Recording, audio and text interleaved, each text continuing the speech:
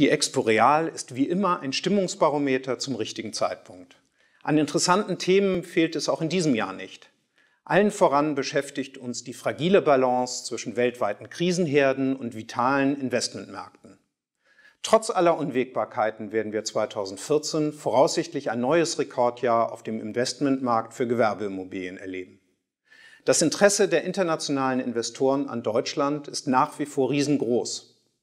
Kein Wunder, dass auch die JLL-Kollegen aus aller Welt vermehrt nach München streben.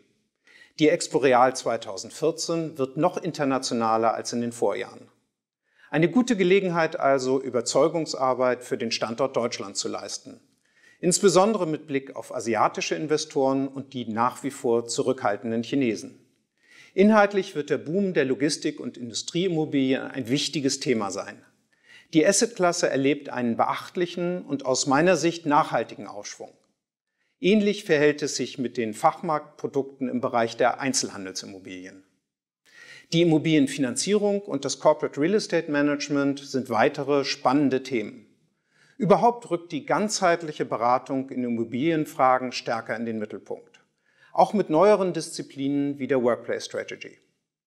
Natürlich werden wir auch die Digitalisierung und ihren Einfluss auf die Immobilienbranche diskutieren.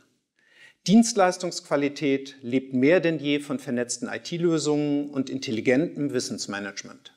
Aber auch die Online-Vermarktung gewinnt an Bedeutung. Wie im Vorjahr werden wir dies in München mit der Vorstellung unseres JLL Online-Portals deutlich machen. Aber die reinen Marktthemen sind nicht alles. Wie jede gute Messe lebt auch die Expo Real letztlich von der Konzentration der wichtigsten Marktakteure an einem Ort. In diesem Sinne freue ich mich auf viele persönliche Gespräche und eine spannende Messe in München.